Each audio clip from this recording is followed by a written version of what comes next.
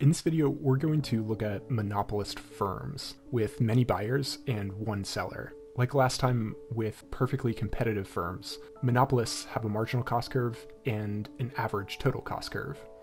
They also have an average variable cost curve, but we're going to hide it in this video for simplicity. Similar to perfectly competitive firms, monopolists also face a marginal private benefit curve and a marginal revenue curve.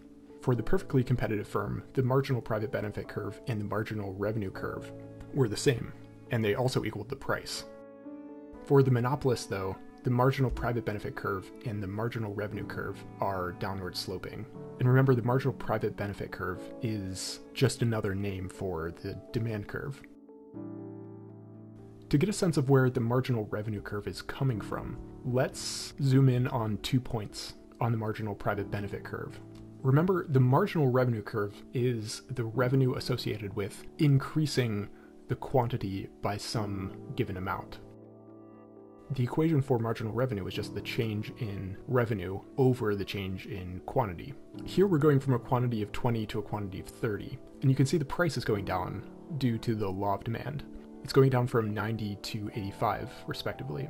So we see the price go down, but the quantity go up. So these two factors are moving in opposite directions.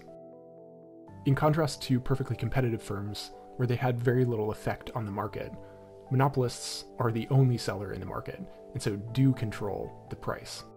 Using this equation gives us the value for the marginal revenue curve, and you can sort of see where it's coming from.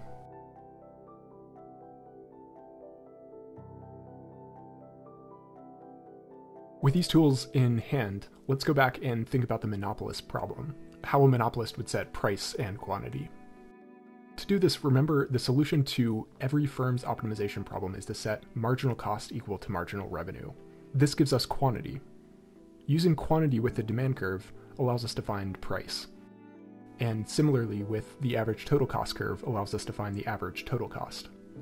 Using price, average total cost, and quantity allows us to find the firm's profits. And here we can verify that marginal cost equaling marginal revenue actually solves the firm's profit maximization problem. If we increase the quantity to 60, their profit goes down. And if we lower the quantity to 40, their profit also goes down. And this is really coming from the fact that as we increase quantity, price also goes down from the law of demand. And if we decrease quantity, price is going up by the law of demand, but not fast enough to compensate for the lower quantity. When preferences in the market change, the solution to the firm's optimization problem also changes. When the demand curve shifts in, the firm's quantity also shifts in, and as you would expect, the profit also goes down. And the gray triangle in this model is deadweight loss, which is associated with the quantity that's not provided in the market where marginal private benefit exceeds marginal cost. This model also allows us to look at the effect of taxes on the monopolist's solution and government revenue, profit, and deadweight loss. So if we impose a tax, instead of using a tax wedge, we're just going to shift the cost curve for the firm. So we shift the marginal cost and the average total cost up by the amount of the tax. Remember, marginal cost captures the costs associated with adding one more unit. So when we include a tax, the costs are going up by the amount exactly equal to the tax. And the same is true for average total cost. We're saying average total cost is the cost associated with the total number of units sold divided by the total number of units. So because we're applying a tax to every individual unit, we're just increasing the average by the amount of the tax. As the tax goes up, quantity goes down and deadweight loss goes up. This is one kind of tax, but we also have another type of tax at our disposal called a lump sum tax. A lump sum tax is simply taxing the firm independently of how much they're producing.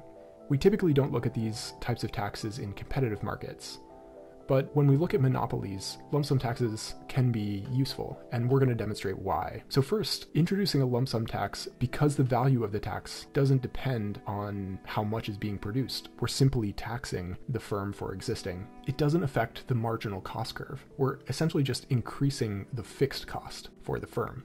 So, this shifts only the average total cost. And what this does is essentially transfer some of the firm's profits to the government what you can see here with the tax and the lump sum tax, neither policy is effective at increasing the quantity to the socially efficient quantity, where the marginal cost curve and the marginal private benefit curve intersect.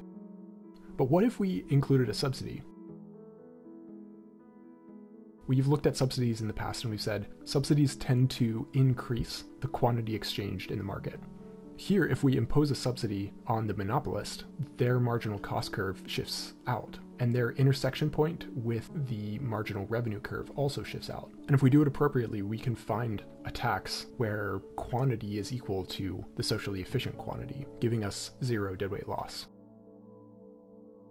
But one of the problems here is that we're transferring wealth from the government to the firm we've increased the firm's profits and we've imposed a cost on the government, where the yellow area represents a negative government revenue.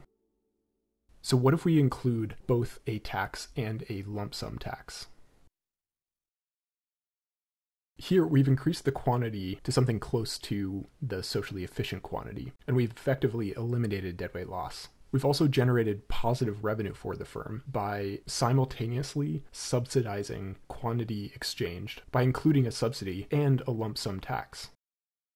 We've changed the firm's marginal incentives by rewarding the firm for selling, but we've also taken away some of their profits using a lump sum tax. In the next video, we're going to look at monopolistically competitive firms. Firms that have a similar model to monopolies, but are competitive in a similar way to perfectly competitive firms. The model will look very similar to monopolists, but we're also going to have an element of dynamics where firms enter and exit based on their profits.